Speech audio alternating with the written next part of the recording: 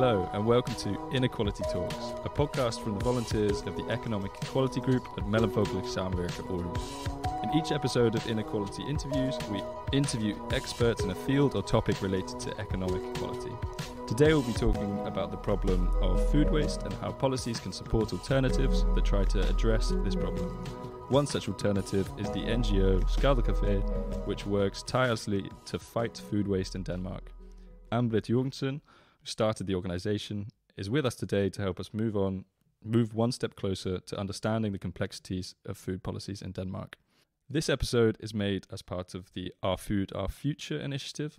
The initiative, co funded by the European Commission, is an international coalition of civil society organizations working towards changing the global food system to be sustainable and socially just. In Our Food, Our Future Denmark, we try to bring issues of food justice to the forefront of public debate. Food waste is a crucial topic when we discuss food justice, especially when we talk about the amount of food that is wasted up against the number of people suffering from food insecurity. We look forward to learning more about how we can improve our food systems to be less wasteful and more equal. But first, my name is Sam, and co hosting this session with me today is Elise. Hello. Hello. And let's welcome Annbritt to the show. Thank you. So my first question to you, Annbritt, is um, Skraldecafeen. What is it that you do there, and how did you get started with the cafe? Um, what we do there is a complex question because we actually do a lot of things, um, which means I'm going to go back to how we started it Mm, it's a good story too. to get to the story of what we're actually doing now. Um, it's uh, in 2013 I started as a dumpster diver, not for the reasons that a lot of others started. Uh, I had a lot of guinea pigs. They eat a lot of vegetables, and I saw this uh, TV show uh, with these uh, chefs who um, did a three-course meal from leftover food, and I thought, hey, that's a good way to get vegetables for my guinea pigs. Were you cooking three course meals for your guinea pigs? No, I, lived with, I was unemployed, uh, struggling with some illness, uh, and lived with my parents at that time, uh, trying to get back on my feet from all of what I was struggling with Mm. depression, uh, not knowing what the illness was that I had. Uh, later, I found out I had narcolepsy Mm. uh, and Asperger's syndrome, and those two don't go well together. But uh, the narcolepsy, I can get medication for, so Mm. now I'm like a stable person who can who can do a lot of things. um, but I lived with my parents and had a lot of guinea pigs, and then I went to Facebook and searched for uh, groups for dumpster divers to find someone who could uh, teach me how to dumpster dive. And when I went out, out dumpster diving with uh, the person I found, I found out there were a lot more food in these dumpsters than what my guinea pigs were going to eat. so I took it home, and my parents were like, "We don't need that. We have money. What are we, why? why are you taking this into the house? It's disgusting." So I started giving it to um, one of my friends because her economy was not the best. And then suddenly her freezer was full, and I still kept bringing home food that I didn't know what to do with. So I went on Facebook again, found these Facebook groups where people that did not have a lot of money were asking for help. Mm. And started giving out food to people with a low income and people who were struggling one way or the other who, and who, who couldn't go out dumpster diving themselves. Um, then I met a guy who were uh, talking about starting a network of dumpster divers throughout the country who wanted to do some organized food sharing of uh, uh, dumpster dived food uh, in order to help the families who couldn't go out dumpster dive themselves. Mm. So we did that, started up that network, and that's how I actually ended up in Aarhus because first I lived in northern Jutland, then I met him, I moved in with him. And then the authorities found out that we were dumpster diving and giving food away, and they called me and they said, Come into the office, we want to talk about this. Oh, someone's in trouble. Was this the police then, or was no, this? uh, Uh, the the the food authorities making sure that everyone follows the rules. Yes. Right. So they said, "Come into the office. We need to have a talk about this." so I went into the office and they said, "Listen, we do find that what you're doing is a good cause. However, it's not legal. You cannot just give food out to people without being um, registered as a business. So it wasn't the dumpster diving that was illegal. It was the giving. It was for food. giving the food away. Oh, wait, yeah. You're le- you're allowed to dumpster dive, but you're not allowed to give food away without being registered. And in order to be registered, the food can't be du- dumpster dived. But so can you dumpster dive for a community as well? You know, like is it possible to dumpster dive on behalf of somewhere else, someone else, or is is that already illegal? You're not you're not allowed to dumpster dive on behalf of someone else. There is there is a uh, you can give food away ten times a year, something like that, um, before you have to register as a business. but like, I mean, friends like No. give food. So Can't, not even your neighbor. n- no. not even your neighbor. Like No. Elise cooked for us the other day. Like if she does that ten more times, then she with dumps. Oh yeah. no with food, right? Like but that's a different thing. so it's with dumpster divers that's a specifically. completely different thing. Okay. Mm. we're talking about. I'll get to that. Because I was talking to the authorities in their office, and what they said was, but you cannot give it out to people. But if you take it to them and cook it together with them in their kitchen, then it's okay. And I was like, Strange. what? so if I cook it together with them, then I can give it to them.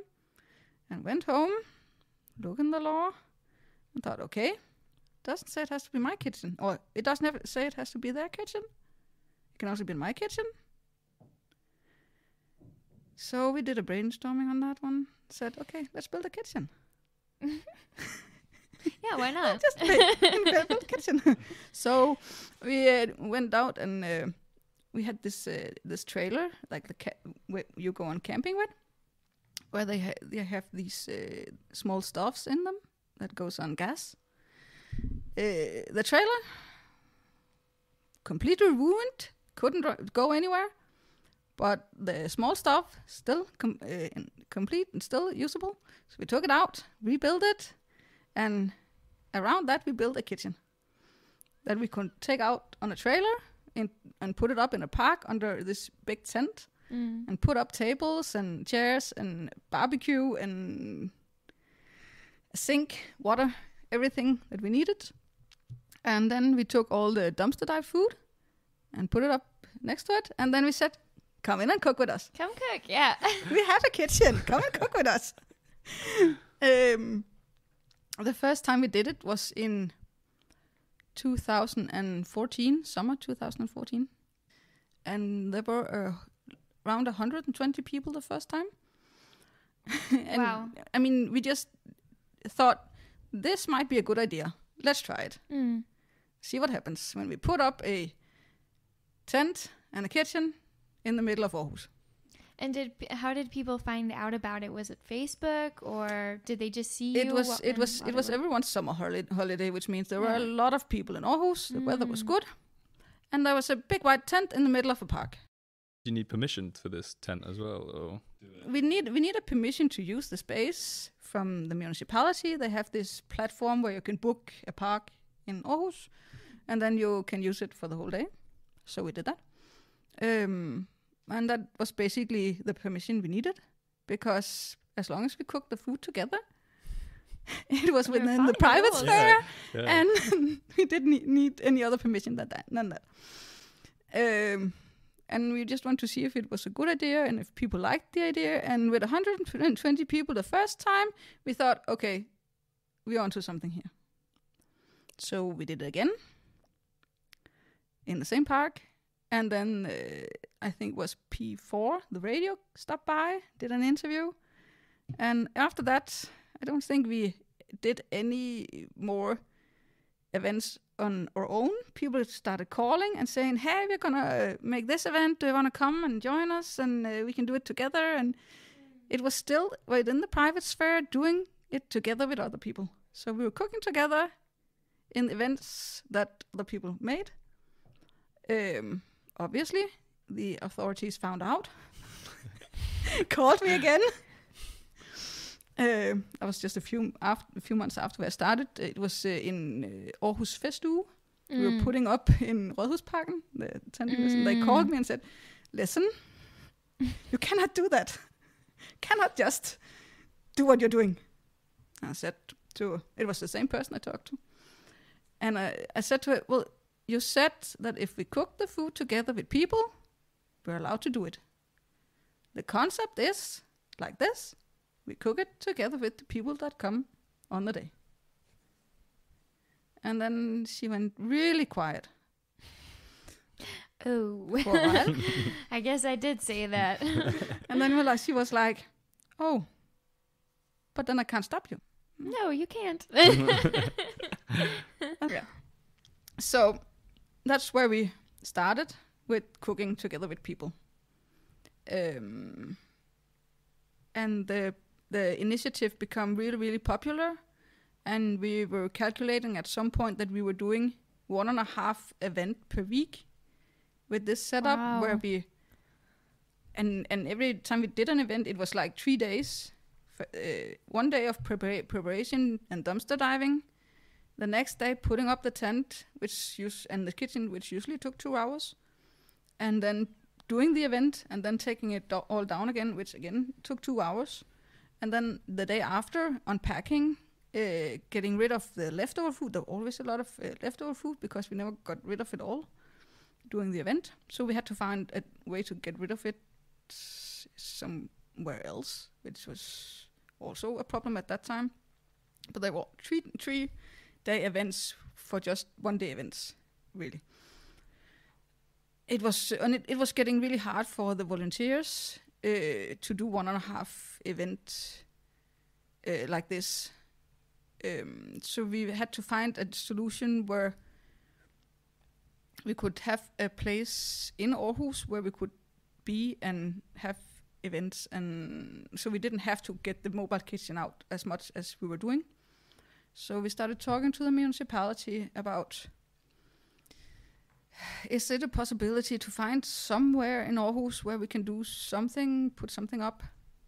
And uh, they found an empty space in Kalkværksvej um, where they said, okay, you can be here for a few years because we don't know yet what's going to be built there. And about the same time, the Chaos Pilots contacted us. And they said, listen, um, we're going to go do a school project together with an organization in Aarhus. We have uh, this idea with these public fridges. And we wanted to uh, ask if you want to be part of the school project and do it together with, with us. And we could see that when we did the events and all the surplus food we had, after that, that could actually be a solution for us to get rid of that in those public fridges. Mm. So we thought, great idea, let's do it. Maybe could you explain for the people who don't know what Chaos Pilots is? Uh, just so. Chaos People are up to date. Pilots uh, is an education, um, and I actually don't know that much about the education, but I know that they do a lot of different uh, community projects and activism related studies, things like that. Um, it's an sort of an alternative education you can take, but it does uh, educate a lot of project leaders and things like that. Um, so these students did all the work with setting up the first public fridge we made, the Fællesskabet Free Fridge Aarhus, which was at that time just one fridge and a cupboard for dried foods. Mm. And then uh, after they had done their school project with it, like registering and maintaining and finding out how to run it and things like that, they left it to us so we could continue running it.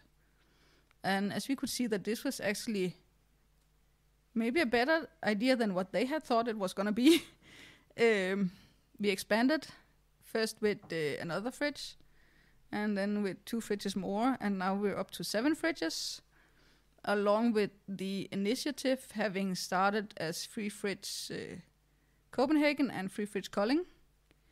So it's actually spreading out to other places in Denmark now. Then we had to move from Kalkværksvej because they were going to be built, and the municipality gave us a place in Jägersgade, and then we had a lot lot of funds. Well, as the project got more and more popular, um there were also funds f- who started wanting to actually give us money Mm. because in the beginning when no one knew what the idea was we were having trouble even the municipality was like you're gonna be doing what why it's it's like they had to see the idea before actually figuring out that that was actually a good idea But did they not believe it was necessary here in Aarhus, or like what? What do you think the hesitations were?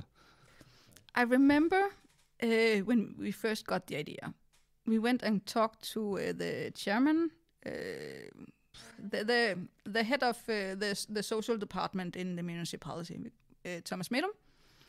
We went and talked to him about this idea that we had. That was before we did it all. Sitting in his office, saying, "We have this idea. We think it's a great idea, but we need a location for it." And he was like, "Yes, but there are a lot of organizations who like."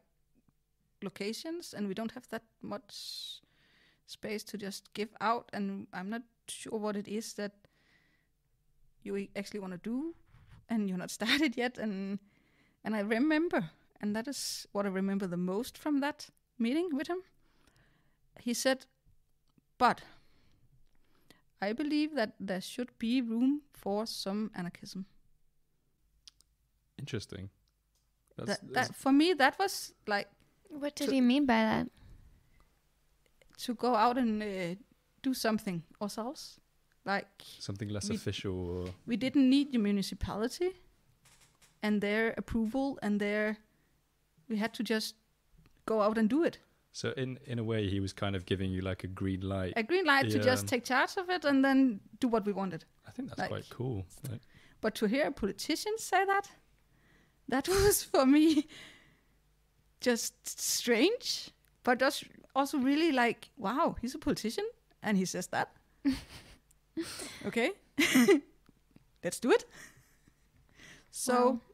he was like do it and he was also actually the one who a few months later gave us the, uh, the, the Aarhus award for Mm. the same project So- Mm. Obviously he was backing the idea, but uh, because we weren't started yet, he wasn't sure he could just give us a location. So he wanted us to show that this could actually work and that this was actually a livable idea. In before he started showing his his support, but he has been supporting us all the way after that. it's like he needed the like to to make it more official. He needed the proof that He needed us to be- show him that it was a good idea. exactly. Yes. Yeah, he probably couldn't publicly support it if you didn't have that No. proof. But we have had a lot of support from him after that. Also because there were I was unemployed at the time. We started it.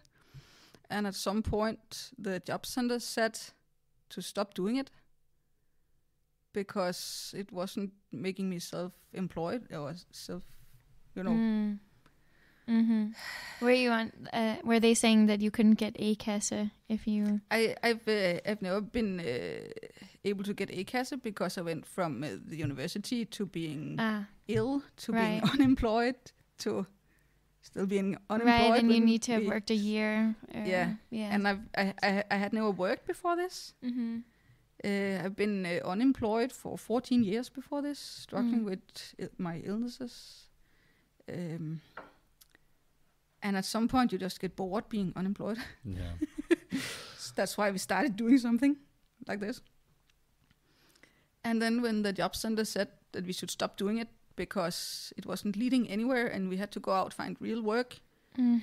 Real work. real Yeah. Work. Air quotes. yes, exactly. yeah. At the same time, in the same department in the mus- municipality, there was this meeting where people were talking about initiatives and projects, and someone said, "Skraldecaféen, that's the best project ever. How do we get more of that?"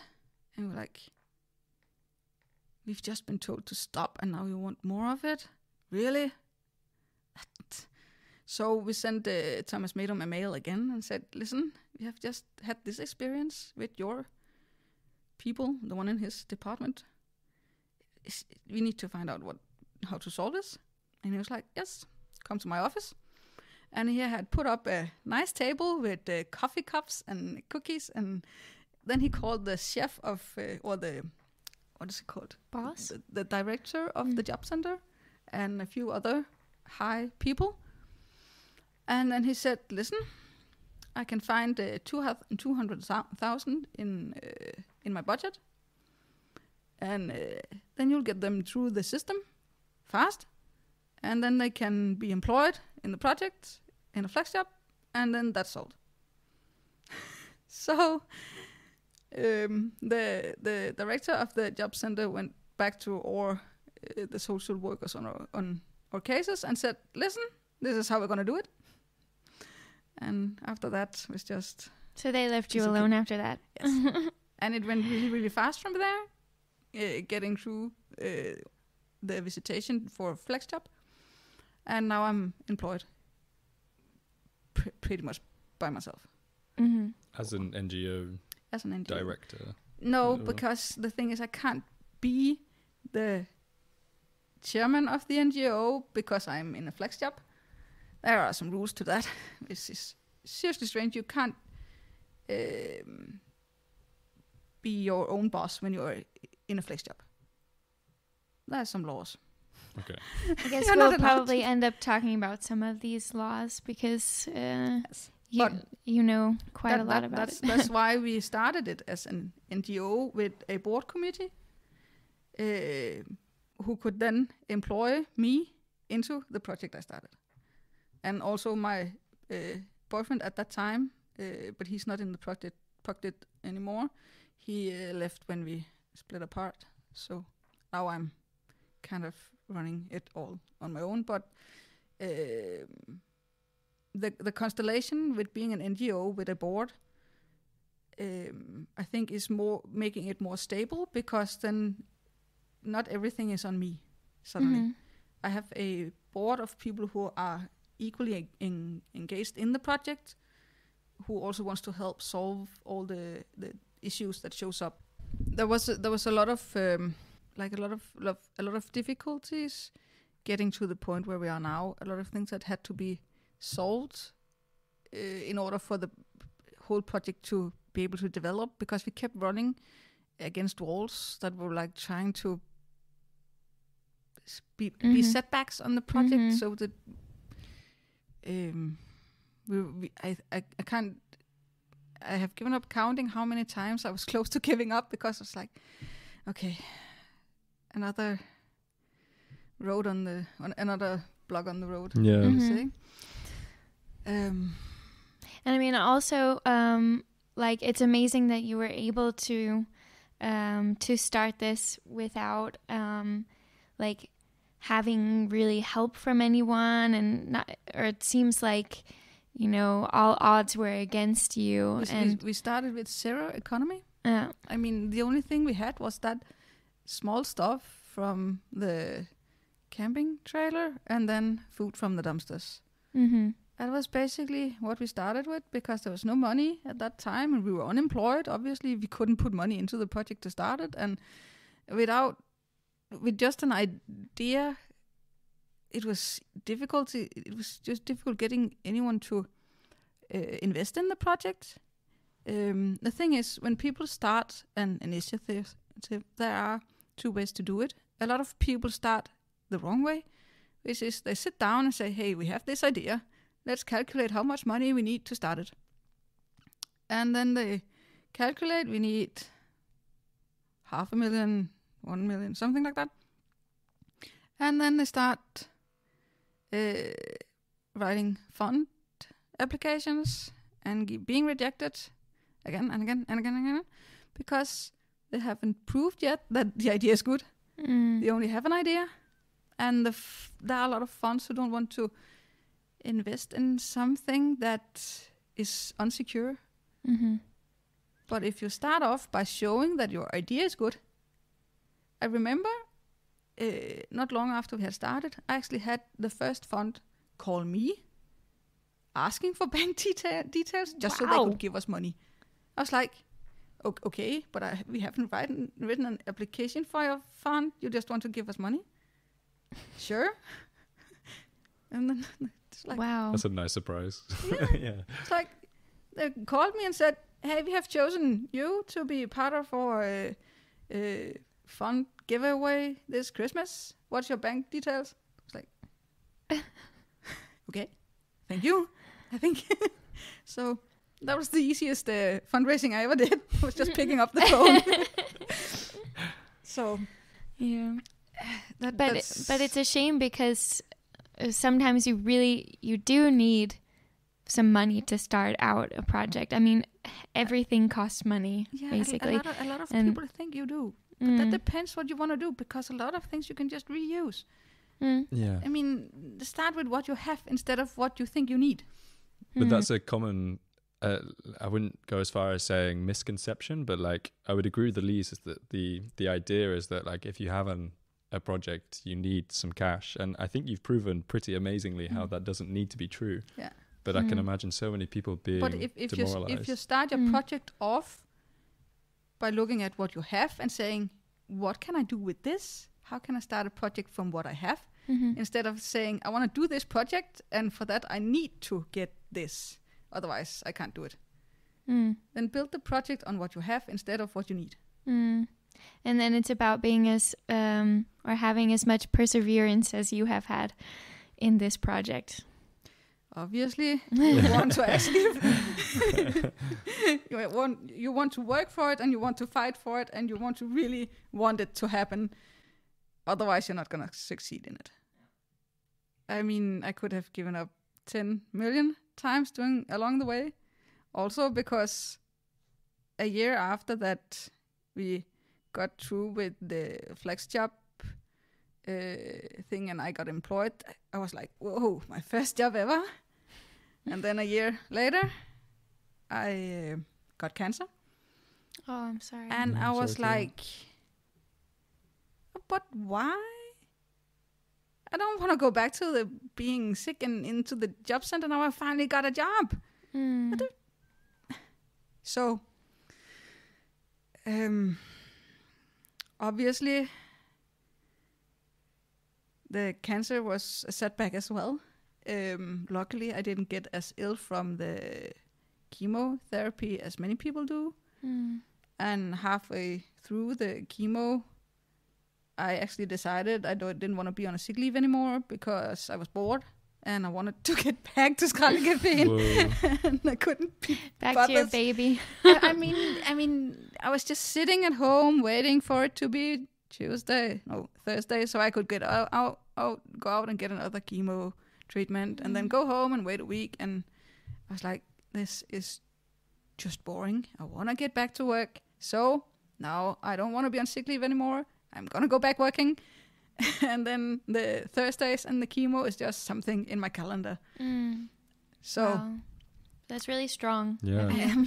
yeah, I can say that's how much it meant to me um, because I got cancer again a year later. Yes. Um, and the worst part about the the cancer is that I had to be away from Skraldecaféen for a period of time. To I was like, I just don't have time for this. Mm. I mean, so the the the second time I was told I had cancer, I cried.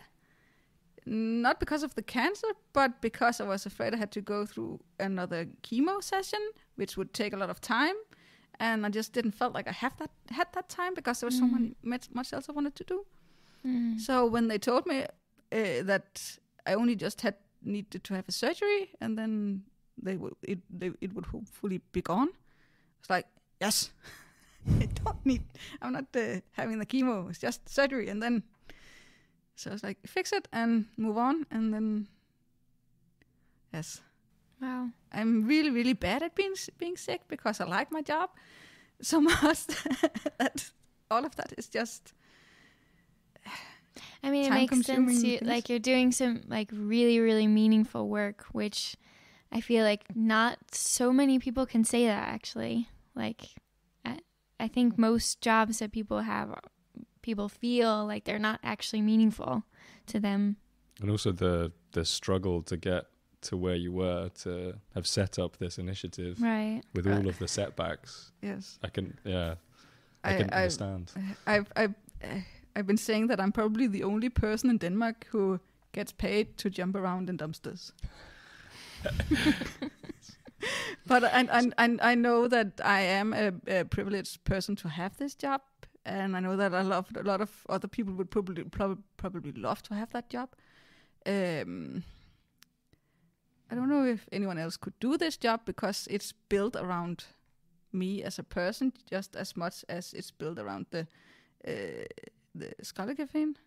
Because when you do have Asperger's, you can't just fit into any job. Mm. hmm You need to find a job that fits you. So so my job has basically been built around me as a person hmm so that it fits me and I don't think it would fit anyone else. Mm. Um, but to get back to uh, what we actually do in Skraldecaféen, um, it is a constantly developing project. So we do a lot of stuff. Uh, we still do the cooking sessions where we cook together with people, and we also still have the fridges. We pick up food from twelve different stores each day, and are still Every expand- day. every day. With with consent. So these stores We have volunteers who go out to the stores, knock on the door, and then uh, the employees have uh, packed all the surplus food um, on these uh, trolleys, and then they hand it to our volunteers who put it in the cars. So no more dumpster diving. Woohoo! Yeah. Obviously, I still do dumpster diving just for the fun of it. uh, also because I want to still like feel I'm in it. yeah. Yeah. Um, Yeah. Because that's where I started with the dumpster diving. Mm. Always go out dumpster diving on 1st of January. That's a tradition. Oh. Because everyone are having hangovers and I'm not, so I get it all to myself. and Um, and would you say the food that you pick up, h- how much is it so w- that people listening can have a feel for feel for how much surplus food grocery stores have every day? From the well, that also depends what day it is, um, and also if it's uh, around the holidays, like the Christmas holidays. We had this uh, big sharing where we brought in over ten tons in one day.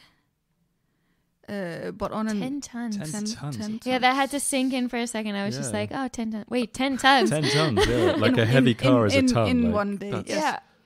Whoa. In one day, in one day. ten tons from from twelve supermarkets. No, no, no. That was uh, the the Christmas sharing where we had made uh, um, deals with all the stores that have closed during the Christmas and got all their leftovers. Mm. So that was a little extra Okay. So red cabbage and potatoes. Christmas cookies. A lot Oh. of Christmas cookies. Yummy. I'm not sure what I would do with three tons of Christmas cookies. Uh, To- eat them. yeah. and I, e- I even had a call uh, after Christmas from one of the stores that was supposed to be called before Christmas, and we heard nothing from them. Then they called me after Christmas, and they said, "Hey, uh, are you also picking up after Christmas?" And I was like, "Yeah, okay. We have a lot of Christmas cookies. Do you want to come and get it?" And they were close to my my doctor, and I had to go to the doctor anyway. So I was like, "Sure, I come in tomorrow." I have an appointment at, with the doctor, so I went to the doctor, and then I went to the store afterwards, and there were like three pallets of cookies. Oh. Okay. And then they came and said, "Do you also take uh, uh, food that's due date?" It's like, "Sure." What do we have? And they came with half a pallet of cola. Yeah, the possibilities are endless with cola. There's always more things to do. Uh, but yeah, so w- what else are you guys doing at Skraldecaféen? Is there anything else you want to share about it? Apart from the the fridges and uh, the cooking sessions where we where people can come in and cook together, uh, the the kitchen is an open kitchen, so people can come in from the street and be part of it. Which also means that the the homeless people who don't have a kitchen to cook anything in, either they can go to the shelter and have whatever is served, or they can come in and cook f- something together with us for themselves and be part of a community, which will, will also help them stay away from the bad communities. hmm We have this uh, young guy who came to us from the homeless shelter. Now he's rarely there anymore because he is in our place, and that has really helped him grow Hmm. as a person. Um, we also do uh, workshops for uh, school classes, um, and we do uh, birthday parties, and we do uh, all sort of sorts of things that has something to do with food and with uh, educating people, uh, either in regard to food waste or in regard to we have done some plant-based workshops where we cook plant-based, uh, but still from surplus food, which means that we suddenly bring two different uh, subjects together with the surplus food and the plant eating more plant-based. Um, we we do a lot of of uh, educational sessions in different ways, also t- uh, learning people about what it's like to to uh, not have a lot of money and be dependent on something like this. Uh, even Mm. the uh, our neighbors are, are uh, the homeless organization, and they have these poverty walks where the homeless take people out on tours to show them what it's like to be homeless in Aarhus. And all of these tours starts in front of our fridges to show people uh, that our initiative is actually a really important part of being homeless in Aarhus Hmm. um, because we make it easier for the homeless to survive. Um, so we have a lot of uh, work, like work together with them, in order to to teach people what the possibilities are when you hit the bottom. hmm So you redistribute surplus food while at the same time also helping uh, vulnerable pe- vulnerable people in society, and then at the same time also um, helping to change the culture with education programs and workshops. Ba- basically, uh, we see food waste a lot. We see dif- food di- waste differently from what other people see it. Um, when you look in the medias, uh, there are a lot of this food waste is something that has to be stopped. We see it as food waste is a resource and it's a tool, and we are just using it wrong. Uh, we don't necessarily have we don't we shouldn't see food waste as an isolated problem Mm. because it is actually something that we can use to solve a lot of other problems with. So instead of just saying it has to be stopped, we should see what we can use it for in other parts of our society. Like Mm. What do you mean? like uh, people with uh, a low income, they are they are in need of it. So we can use it as a resource and a, a tool to give them a better living standard.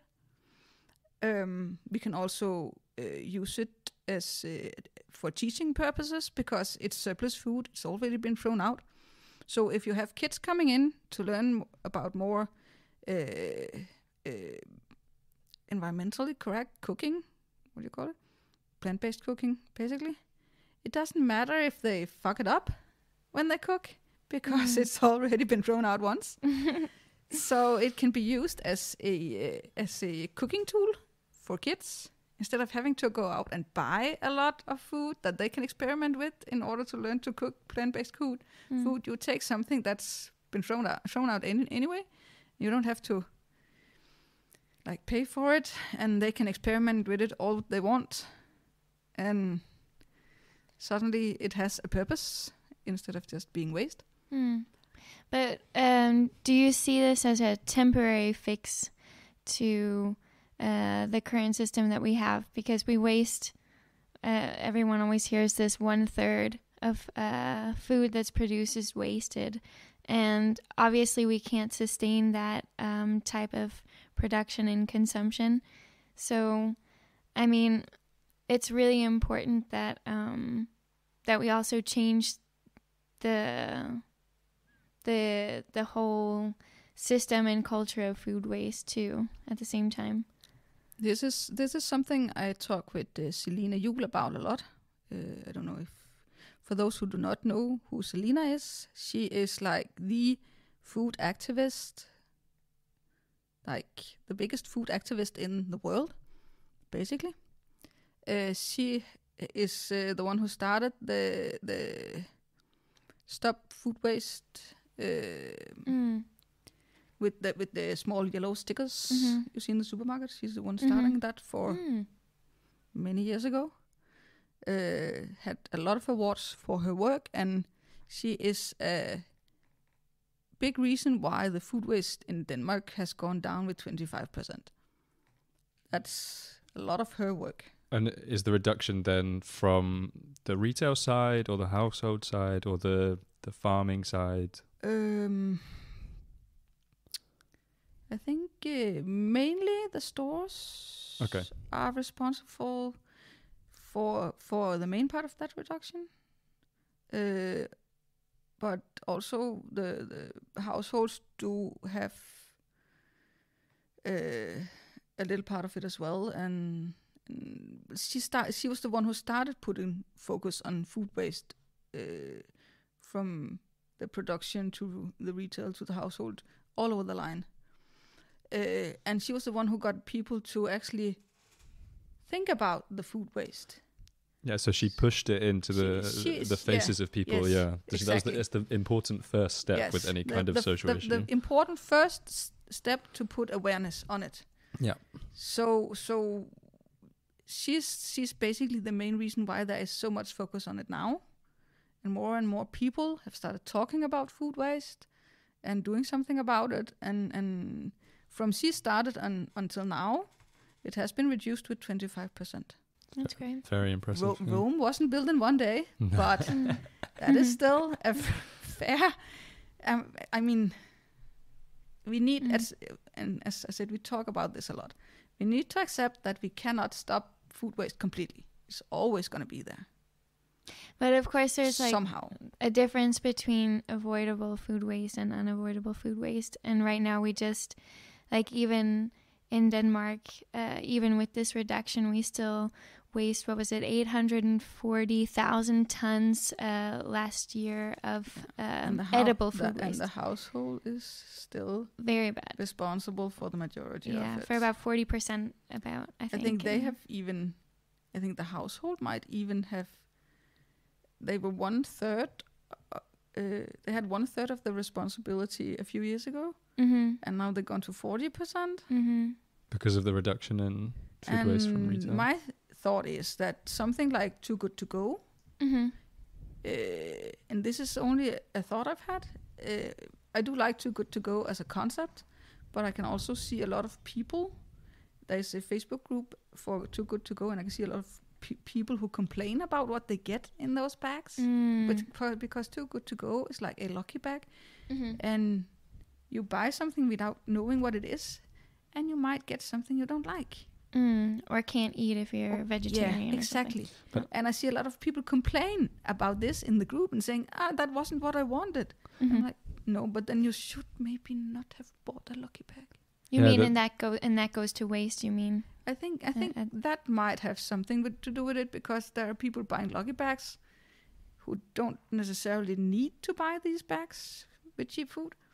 And when they get something they they don't like or they don't eat, then they throw it out because it was cheap and and also the yellow stickers and when things are on offer and my concern is we might just move the food waste from the stores to the households with Mhm. these uh, cheap priced offers because there is a tendency and it's a human thing but it, there is a tendency that when you see something that is cheaper than normal then you hoard it because it's cheap and you can save it for we have this survival instinct that makes us collect things for worse days like Mm. We need to survive. It's always in the back of our head. We need to survive. So we have a tendency tendency of hoarding. Mm. Basically, everyone has this as part of their nature because we're humans. And when we see uh, reduced prices, we tend to buy it all because it's cheap. and it ended up in our fridge, and we're like, okay, I might not be able to eat it all before it goes bad. Maybe it was stupid I bought it all, Mm-hmm. but it we don't think it think, think about it at the time we see it because it's reduced price. So I think there is my concern is that, that these reduced prices, even though it's a good idea, it end up as food waste in the households Mm-hmm. sometimes. Yeah. I mean, and that's why like you said you can't just look at food waste as a as one isolated problem. It's also part of a whole culture of one um not knowing um how to tell if a food is actually bad or not. Uh to not knowing how to uh, recover food and use it in a, in a different way or properly preserve it in the freezer or something and then also just um, a general culture of buying too much and then um, not appreciating really the things that you've bought. Also, I think it comes with a level of affluence. If you have, if you've never really had to um, worry about money, I think that um, you don't really have the same appreciation for um, food as a as a necessity because it has And- always and, been and, there. and and not just food. It's we are a rich country. Uh, a lot of people in Denmark uh, don't what it don't know what it's like to not be able to buy what. Of obviously, we do have poor people in Denmark, but the majority still uh, don't really think think about that if if you can always just go out and buy a phone, you can always just go out and buy new. You can always just so so we do Mm. have a lot of this uh, buy and use and throw out mentality. Like we can just throw out and buy new. Everything's disposable. Yeah. But then, how do you? My question would be then, like, how do you then uh, educate people or encourage people to start to value food, maybe a bit more or a bit differently, so then it's it's th- there's less household waste. I don't think you necessarily have to do it that way. I think you need to make people think about if they actually need what they buy. If, when you see something in a with a reduced price, you have to think about if you actually need to buy it, just because the price is reduced. But it's it's so easy to fall into that trap. Like It even is, like, like I've a had lot to of people do yeah. it. Like I've had to really like when I was younger, I used to just if I saw a reduced sticker, even if I didn't want it, I'd buy it. And it really like I'd feel like mm-hmm. my brain was controlling me to just even if I was like, oh, do I, do I really want four packets of Doritos? Yeah, yeah, go on, go on. That's great. You really need this. I want four packets of Yeah, me, Doritos. t- yeah, me too. Now that's a Yes. shame. Now, that is why I see the fridges that we have made as a solution to some of that. Because if you Mhm. buy four packets of Doritos and you find out you can only eat two of them, obviously you can go and put the other two in the fridge and someone else might want them. The- You can also t- sorry to interrupt. You can also like encourage that at a community level. Uh, I think it's it's fantastic that your organization exists, and I think it's it will always be necessary because there will always be like I think we can certainly reduce waste uh, at a systematic scale, but there will be some overproducing or like some leftover in the farm or, or whatever. Um, but I think you can encourage people to like if you don't think you can eat the food, then you can give it to your neighbors, or you know, like Okay, but that is the thing. You're not allowed to just give it to your neighbor. Because the law says if you give it to a neighbor more than 10 times a year, then you have to be registered as a food business. then maybe that's that. Maybe that's a good segue into um, the laws because that's. Um, I mean, you're an expert in this, and not and many people know about it because you'd never you never have to you're never confronted with these food laws unless you're maybe a corporation or retail uh, like company. So um so why is it that these um let's just take this one for example. Why is it that you have this law that says you can only give food to your neighbor 10 uh 10 times a year we have we have this set of uh, laws around food businesses, uh, but they're very. It's like they don't really make space for. Um, they don't really make space for you as a private person uh, to do anything with your food other than throw it out. They don't make space for the supermarkets to to do anything with their food than throw it out, and the same basically goes for uh, the the producers because there are so many rules to what they are allowed to do with the food. Um, and these rules goes even for you as a private person because it says they, they, have the, this small limit as to what you can do as a private person. You can, I think it's either one or two meals, and then you have to cook it as meals, and one or two meals per week it, that you're allowed to give to someone else, or um, uh, like a bigger amount of not uh, non-cooked food that you can give to someone else 10 times a year they keep cha- changing it but there is a limit to how much you're allowed to do as a private person Why? it's for s- some sort of security reason uh, that if you start to di- distribute bigger amounts of food uh, without having some sort of control with it there's a bigger risk of someone getting sick I th- also yeah, that, that that seems absurd to me. Um, um, no yes. like obviously it- you need some kind of protection. I think they food, are- i think they are being overprotective and i think our laws are lacking some flexibility. Um, i think i think our laws are lacking some flexibility as to if we want to uh, do something about the food waste there need to be more flexibility in the laws so that we can experiment with possibilities and, and new ideas and find other ways to, to fight food waste than the options we have now because the options we have now are basically none. Mm. I mean, there are a few like what we're doing, but we are still under a lot of rules that we have to follow. I am still fighting with the authorities now because we have now we have the fridges, and the, there's no law on having fridges standing in the middle of nowhere, which means the authorities are confused. it shows how unique Skraldecaféen is. I mean, it's, it's it's like moving in, in a gray zone. This because if you do something in a new way that hasn't been done before, all of a sudden the authorities are like, there has to be laws for what you can do, and now you've done something that we don't have a law for. So now we don't what know what we should tell you that you're allowed to and not allowed to, and Mm-hmm. I, I, I'm first they suddenly showed up. They have these um, like a patrol that comes Right. out unannounced to control, Mm-hmm.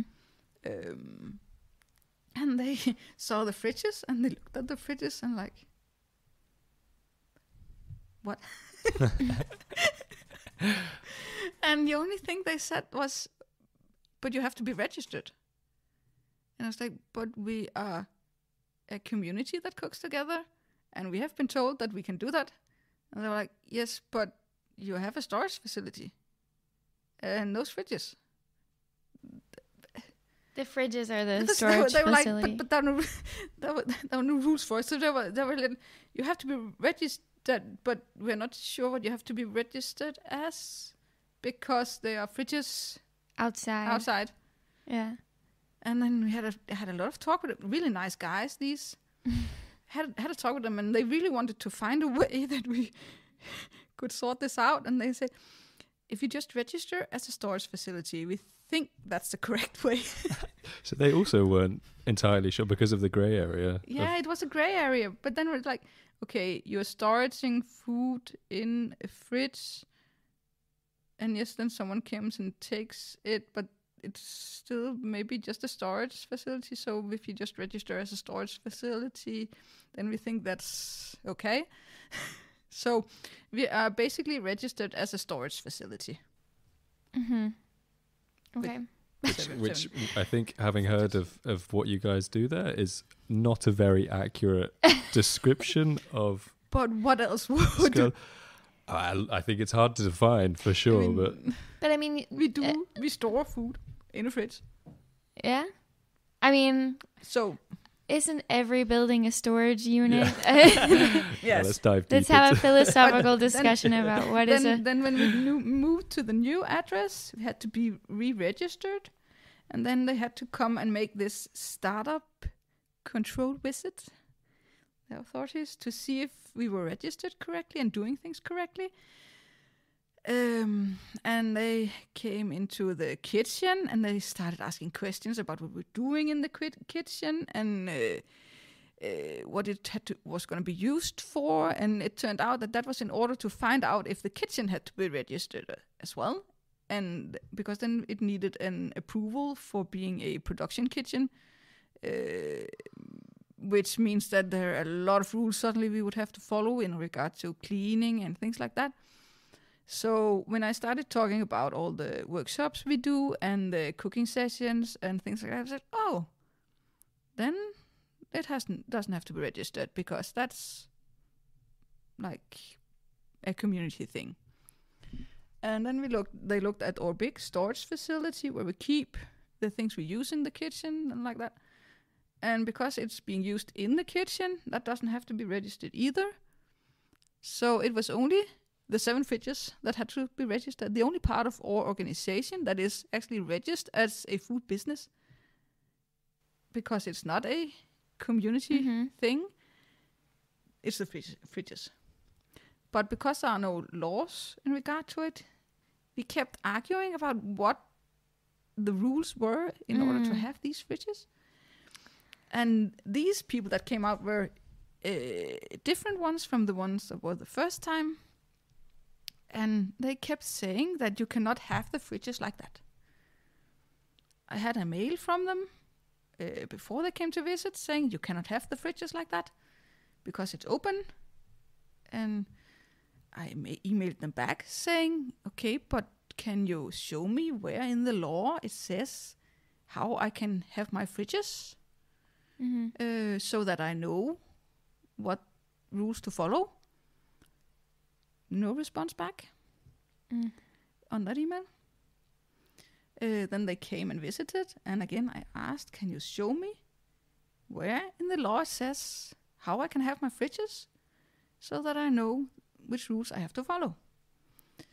And then they say to me, uh, "There are no laws, but we have this intern document that uh, we uh, should we, that we can give you advice from." And in this in this intern uh, document is for um, these uh, road shops, uh, roadside shops, small shops standing beside the road that has to be closed, like in a closed shed. And I'm like, but we're not a shop like that, and it's only it's, it's mainly fruits and vegetables that we have. So what about those? You have these small sheds standing next to the road where people have berries and such. Mm, They're yeah, open? Yeah, I've Yeah. seen those. so yeah. is that illegal if our f- fridges cannot stand like they are? yeah. Because what they said was that, but what about rats? And I'm like, but it's a fridge. it's closed. It's closed. like a, a fridge is probably more secure against rats than a wooden shed would be. Yeah. Yeah, but what about lions? You know, you got to think of all these things. Like, like what about Darth Vader? And then, then they he started. Then, then they started. Well, can't you just build a front in front of the fridges with a door so pe- so so that people can walk in? I'm like, but if they leave the door open to that, the rats are gonna get in anyway. And if we build an an a closed front, we're gonna have drug users sitting in there fixing. Is that gonna be hmm. more hygienic It's- than having it open? It sounds like an absolute minefield. These laws that you have to Yeah, yeah. like acrobatically Navigate through. Yeah. navigate through. Yeah. But then, then they then they also said that another solution was to put up a camera, so that we could keep an eye on, On the rats. the rats. and I was like, but I don't want to put up a camera because then people are gonna feel they are being watch Yeah. all yeah the time. understandable. Yeah. Um, but then we had uh, three times where people ruined the fridges, pulled down the electricity, and What? Really? yes, they've been ruined three times in a few months. Mm. And then we ended up uh, getting a donation of a camera. Mm. So now we have a camera, and didn't have to build a closed front because we have a camera. Mm. I haven't noticed that camera. Is it like hidden in a? No, it's very It would- high the up on the wall uh, across the street from the Oh, okay, okay. So- but okay. I don't think anyone is gonna notice it because it's just sitting like really high up on the wall. Mm. Yeah. But it's watching the Mm. the fridges, and hopefully the authorities are gonna accept that solution because they did suggest it themselves at the Mhm. time. But you have no way of predicting the response that you're going to get for all of these interpretations of laws that don't apply to your to your organization. No, and and I think that is stupid that they can come to me and say, "But we have this intern document that you have to Yeah. follow." But you, even if you don't have access access to it, That, but that like uh, yeah, I don't know Danish law well which, enough. which I actually sent an email to uh, uh, one of my. I'm in a political party myself, so I obviously sent a, an email to Christiansborg, to one of the politicians, uh, saying, "Listen, can this be true that I have to follow some rules that I don't have access to? Can I just do that?" So he's looking into it for me. Hmm, that's good. But um, I wanted to say, well, I wanted to mention that you said earlier that there is no flexibility in the Danish law, and right now Danish food law is written for private businesses, not for NGOs like yourself or your like your organization, Skraldecaféen. And um, um, I wanted to talk about ways that we could sort of um, like move forward. And something that I came across and wanted to get your thoughts on was um, in some in some places of the world, they've made um, uh, what are they called? Some kind of like dialogue group where all the different stakeholders can come together um, um, to recommend changes to the food law so that it isn't just you know um, the so that the food law doesn't just pertain to one subsection of society.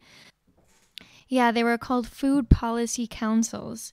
Is that something that does Aarhus or Denmark have something like that, or is that something? And if not, is that something you could imagine uh, might help? We actually in Denmark have a food waste think tank, which uh, Selina is part of. Mm, what was that called again? Uh, It's a I can't remember the name of it, ah, yeah, I think. Uh, oh, what is but it does. I know which one It's a food yeah. waste think tank, um, and I know that Selina has uh, one of the things she is trying to get through it is a uh, food waste foundation, which uh, NGO NGO can uh, apply for to get finances for food waste projects. Um, she's not get, really getting anywhere with that because the the chairman of this think tank has this idea that all the solutions in regard to food waste is in the science and not in the NGOs. It's in the science. Science. so Uh, what kind of science, I guess? I have no idea. Okay. but that is apparently an idea that someone in the think tank has that all the solutions should be found in science It seems like a Uh, problematic solution. is to to only lock yourself on one solution Yeah. Yeah, when obviously something like Skraldecaféen is already doing uh, so much with redistribution and exactly and there are, education, there yeah. are, uh, the more focus we have on the food waste the more of these ngos are popping up mm, and what i've seen obviously being one of the oldest in food waste ngos in denmark if not the oldest food waste ngo apart from the one selina has maybe. Uh, what i've seen over the years is that uh, people have the good inten- intentions when they start. They have the, the will to do something. They start an ngo but due to the lack of finances and with the the work that is in it, without having uh, anything to support that work, everything has to be run by volunteers. At some po- po- point, they just like get tired and they stop because running an NGO only on uh, volunteers is not very easy. Uh, but if there are some finances into it, and someone like in the Skraldecaféen, there is someone employed to actually run the NGO, there is a foundation to build it on. Because that person who's employed isn't just suddenly gonna walk away. Uh, volunteers have the freedom to just stop and walk away when they get tired, but an employed person can't just quit and go. There's always going to be a foundation to to have the project project based on.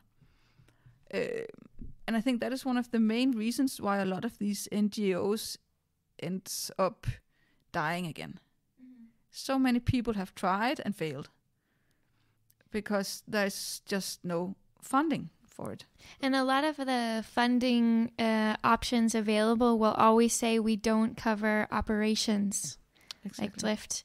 We will only cover projects. like- Yes, and then there are also the the the bigger foundations. They s- often support either the food bank or they support WeFood.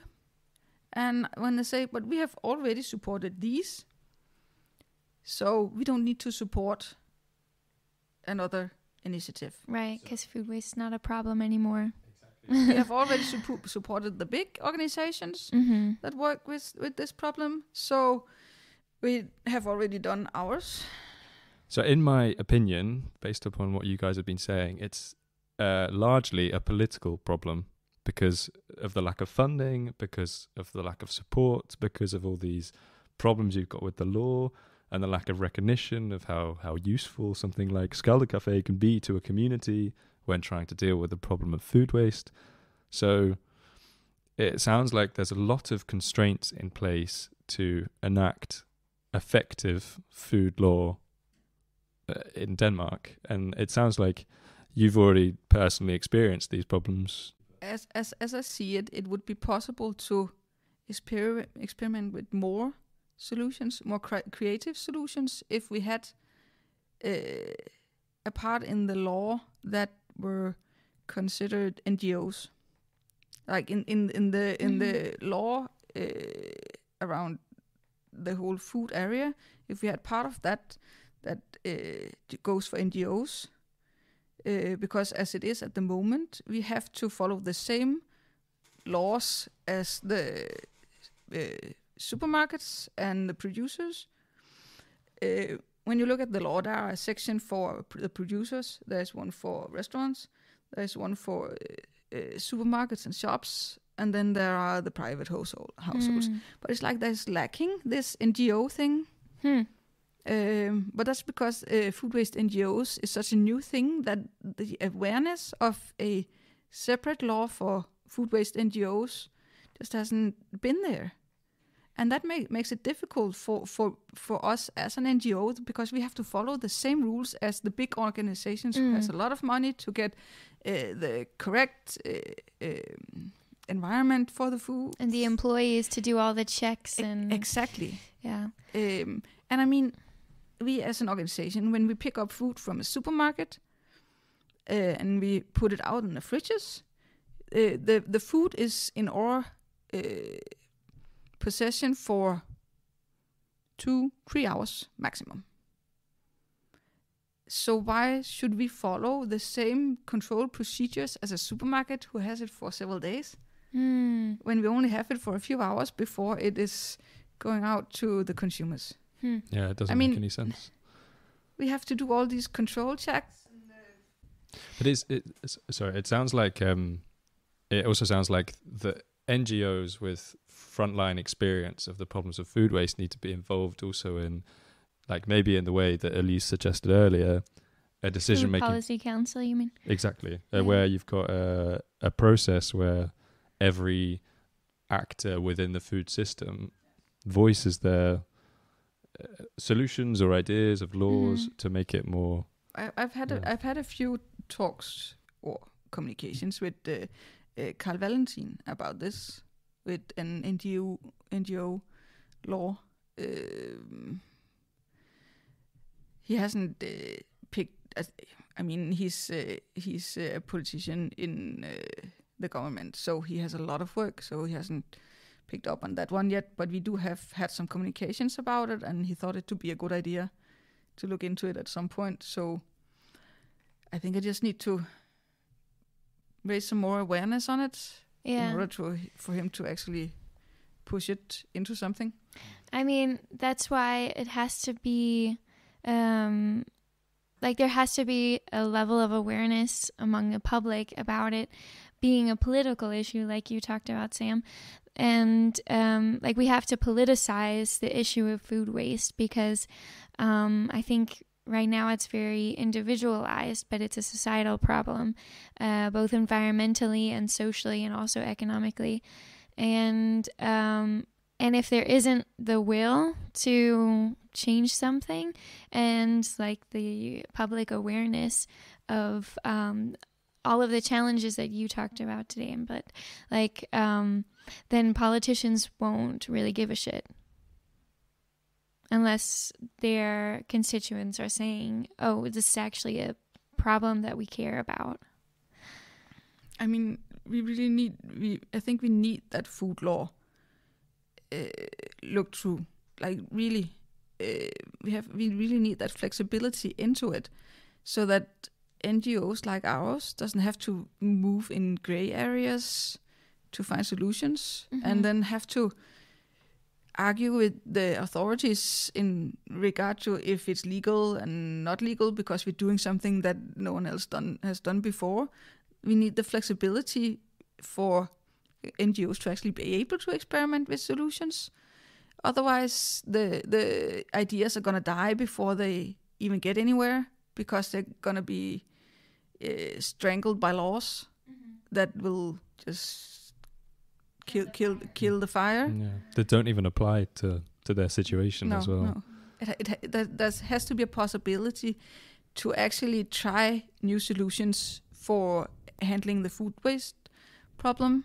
Uh, not as something that should be stopped, but as but to see what we can do with this as a resource uh, in our society, because food is a resource. It's something everyone needs so of course it shouldn't just be something we see as waste but as something we can actually use for the people in our society Yeah, it's also a resource that has a lot of negative externalities. Like if if there are large piles of food waste that decompose without enough oxygen, then it's a big polluter, for example, for the environment. And it's also like everyone knows that there are a lot of people in the world, not necessarily in Denmark, but there are a lot of people in the world who don't have enough food. So it's bizarre and it's absurd. about 10% of the world population doesn't have enough food Exactly. yeah And so, how can we possibly continue to sit by and have all these restrictions on food waste and uh, not restrictions on food waste, but restrictions on positive policies that help solve the problem. Exactly. When we've got these these huge issues for humanity that are directly related? and and that and that is exactly the problem with no flexibility in the laws. The laws are so strict that and i know this i know i know i've talked with people in the supermarket business uh, and producers and they all um, they're all equally frustrated that there are s- such huge limitations as to what they Mm. can do with their food waste it's not that they don't want they do want to find the solutions but it's the law that is stopping them from actually solving the problem with their own food waste But it sounds like everyone agrees that there are solutions that need to be found and can be found. yeah But then, in your opinion, The law is just outdated. Yeah. Yeah, Like and that's because when when you see the politicians ta- talking about food waste, it's also all of these like we have to make it illegal for the supermarkets to throw out food. And as an NGO, as a leader of an NGO, I just sit, sit and say, yes, the supermarkets do would like to not throw out their food, but as long as the laws doesn't uh, make it make them able to do much else than that, you cannot just say they are not allowed to throw it out because what should they do then? yeah. We have the law. uh, They changed the law in France. Yeah, we were just uh, I was just about to mention that. Yes, and a lot of people who do not live in France and just see it from the outside, they think that is the best idea. Maybe explain what you're talking about for the listeners. The the the laws in France says that they are not allowed to throw out food. They have to give it to either uh, charity or animal food. Those are the options. Uh, a lot choose to give it to charity, which means that there are uh, in there was some at uh, I think it was Southern University of Denmark who did who looked into the the uh, problematics about this law in France and found out that a lot of the charity organizations were drowning in this food waste. And suddenly it had become a waste problem for the charity organizations What? because the supermarkets, in order to not be fined for throwing out food, they always send uh, the 20% extra food that might be eatable when it was at the supermarket but had gotten rotten once it got to the charity organization. So they were left with the supermarket waste and it became a financial financial problem for them to get rid of that waste. Also, the charity organizations got a lot more food than what they were able to use uh, in the organization, and suddenly they had a lot of surplus food that got that would just go bad. Hmm. So it sounds like a law that was created to sound like effective policy without actually being effective policy. A, a, a lot of these charity organizations ended ending up having to say no. They did not want that food because they were just not able to handle uh, the amounts of food they were getting and the amounts of uh, waste that were coming with it. hmm So then uh, we only left with the possibility of giving it to animals. But what about like is it maybe just that there weren't enough NGOs or charities that were um, uh, able to deal with this um, project? Most likely, yes. There are not enough charity organizations. It, and it would be the same problem if we made that law in Denmark. hmm Um, we would still have a law that said for an, a charity organization to be able to handle this food, they need to be registered as a uh, food business, which means that puts a limit to the number of uh, charity organizations who are allowed to actually uh, receive the food from the supermarkets. Something like uh, Mødrehjælpen, they are not a registered food business, so they're not allowed to receive the food. Suddenly, we have uh, Mm. we have limitations as to uh, who can receive this food, which means that this huge amount of food would have to be divided into a few numbers of charity organizations hmm that would then be uh, left with a Too huge much. amount of food.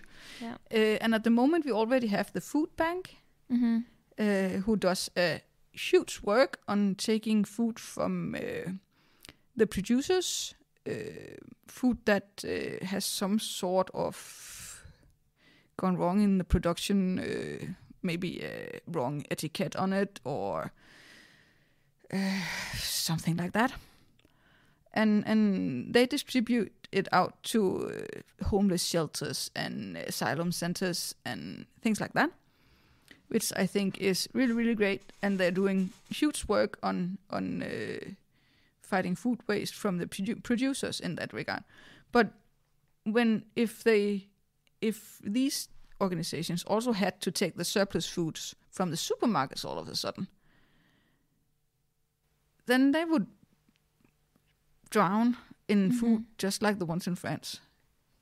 Mm. they don't have the capacity to take on No. that food. So it sounds like in France they made a mistake of not creating the infrastructure and law necessary to deal with this banning for the supermarkets to throw away their own food. Like Mhm. it, it's not. I, I don't think it's too hard to imagine a system which would work. You just need to allow the NGOs and the charities to to I th- I think in, instead of just instead of making a law that's, that says you are not allowed to throw out your food, the law should be made in a way that says you are, uh,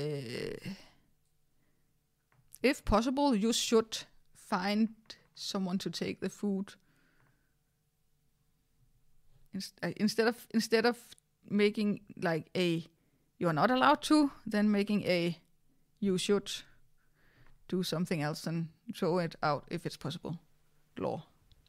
Mm, but I mean, uh, maybe also a problem is that we're overproducing food too, because why is it that supermarkets have to be full all the time and overflowing with like the freshest vegetables? Because we're spoiled Yeah, consumers. we are. Yeah. I mean, if you go into a shop to buy bread, hmm you expect there to be 13 different kinds of bread on the shelves to choose from, even if you only need one.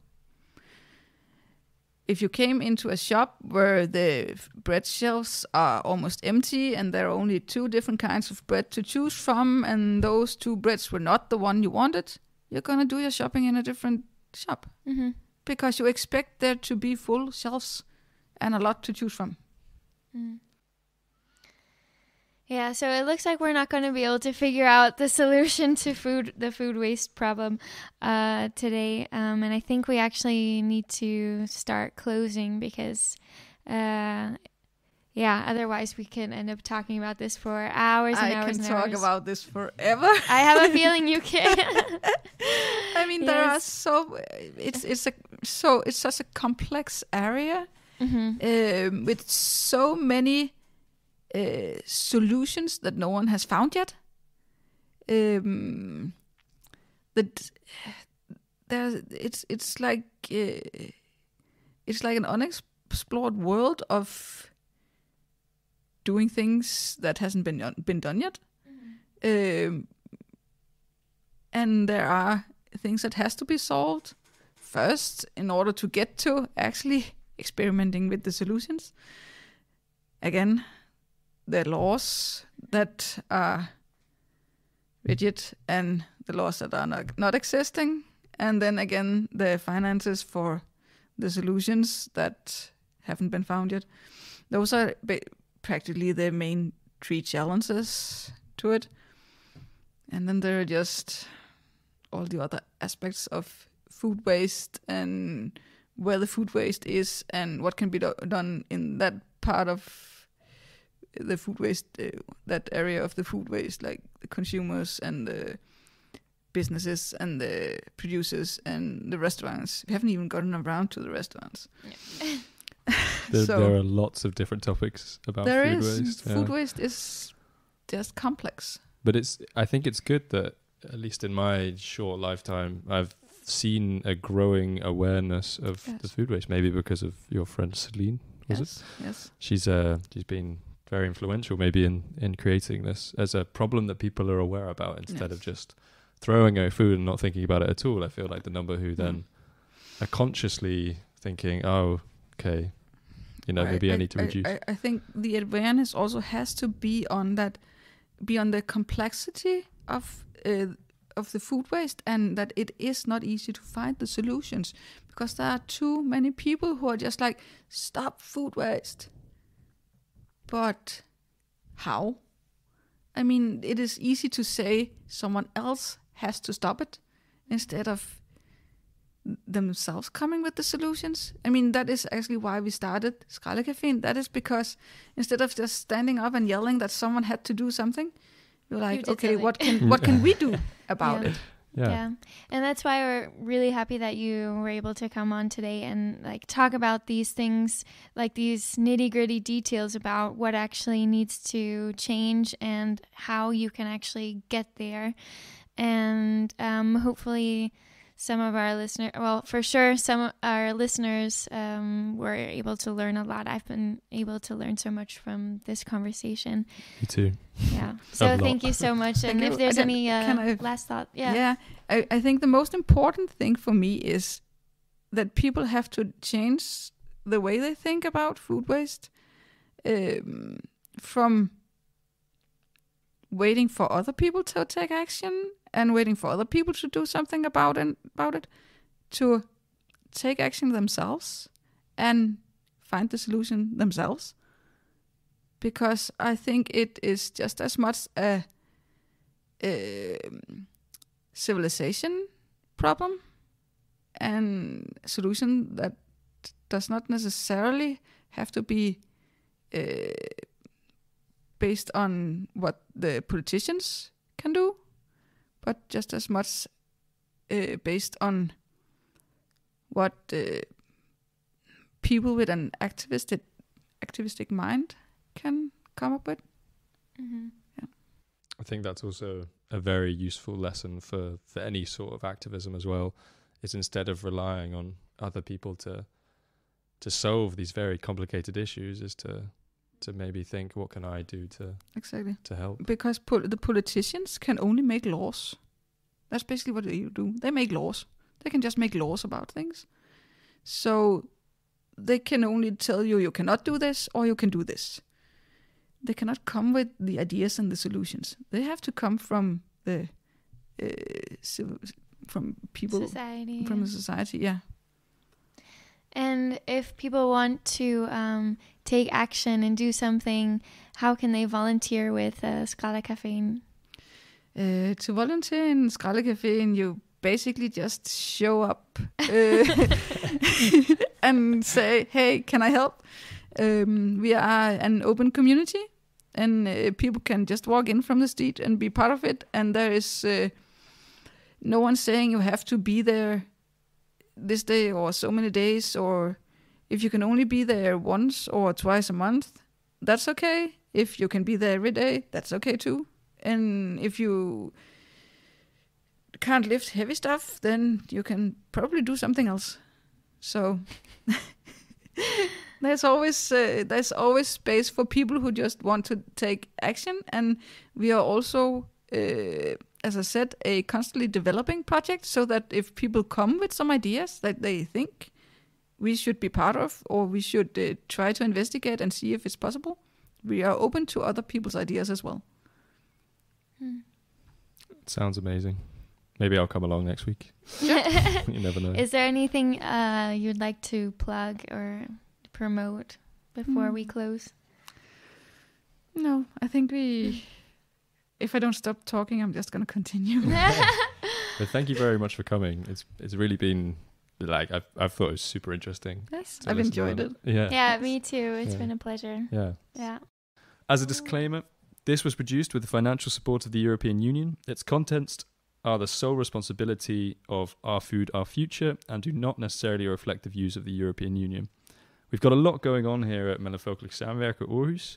We're a Danish NGO that works for a more just and sustainable world, collaborating with global partners worldwide as part of the ActionAid Alliance. Here in Aarhus, we have over 100 volunteers working together to, to run a not for profit cafe and campaign and educate in areas ranging from feminism and climate justice to anti discrimination and economic inequality to queer issues and refugee rights. You can come down to Cafe Mellemfolk every day, but Sunday for amazing food, drinks, and events in a cozy cafe run by our lovely volunteers, including myself. You can also get involved with our events, activities, and campaigns, and even running the cafe as a volunteer yourself. So check out Instagram and Facebook to find out more about our cafe and our campaigns by looking up Cafe Mellemfolk or Mellemfolkeligt Samvirke Aarhus, or following the links in the episode notes. And check out Podbean, YouTube, and other podcast providers for more episodes, interviews, and cool stuff. Details are in the episode description. Thank you everyone for listening, and until next time.